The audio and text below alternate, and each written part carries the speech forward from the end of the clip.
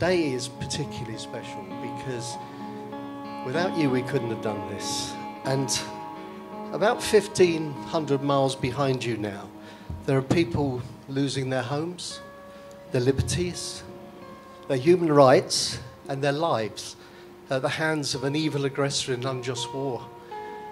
We can't stop that war, but by being here today, we've done our bit to send some money to help those people. So thank you. Thank you so much.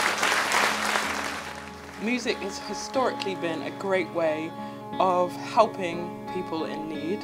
And so we have spread love and joy with music today with each other to help people of Ukraine who are going through a very, very, very tough time at the moment. I've seen it in the lines on my face. How they were once yours follow. I really felt like it's it's this is a drop in the ocean. Um, and then I sat down with a friend, and and she sort of reminded me of um, uh, of the saying, you know, the ocean would be less without that drop. I'm traveling now to my new home. 27, I am starting again in a harbor at night, looking for a lighthouse to guide my tired boat in. Like imagine being that family and someone hands you a bit of money or support package. Just regardless of the material value of that, the emotional value of that is beyond words, isn't it?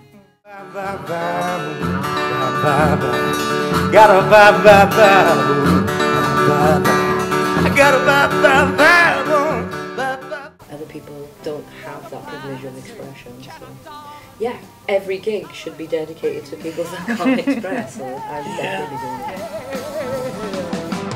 Freedom, freedom,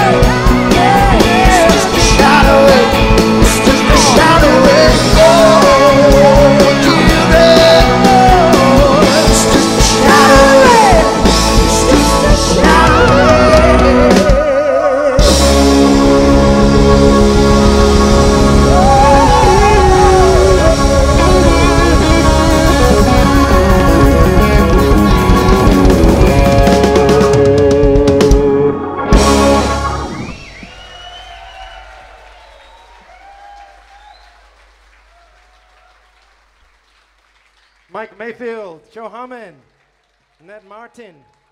Don't worry, we feature the other guys soon.